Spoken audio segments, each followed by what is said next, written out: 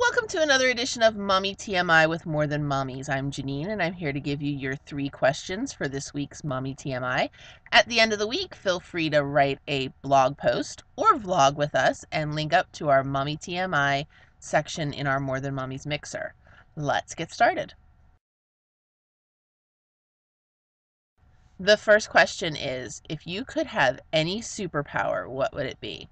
I didn't have to think very long on this one. Um, my superhero is Mary Poppins, and if I could have any superpower, then it would probably be uh, the one where she goes and clothes put themselves away. I mean, what mom wouldn't want that, right? Especially a mom with four kids? Absolutely. All right, question number two is What is an invention that has made your life easier as a woman, as a mother, as a wife, any or all of the above? Um, for me, my answer is my iPhone, specifically this uh, calendar app that I have. It's, um, whoops, Calendars Plus. There's a free version and a paid version. I was lucky enough to get the paid version when it was on Apps Gone Free. So I have the paid version, but I got it free. Anyway, um, this calendar syncs your GooCals, your iCals, any other cals that you would like to sync into it can all sync into this one calendar.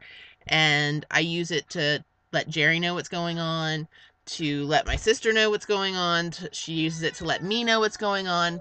Christine and I use it to schedule blog posts, um, talk about when deadlines are, maybe when there's a Twitter party or something like that that we want the other one to know about or that we're hosting.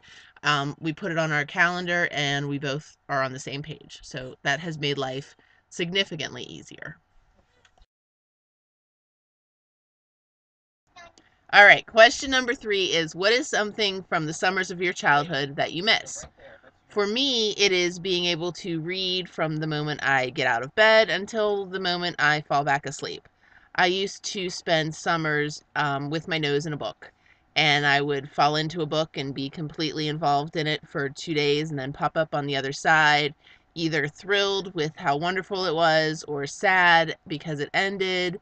Um, I miss getting that involved in books. I love to read, and I wish that I had more time to do it.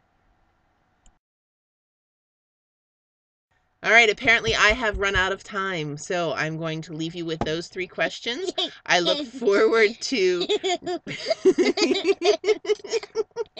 I look forward to hearing your answers in your own vlog on Friday at the More Than Mommies Mixer.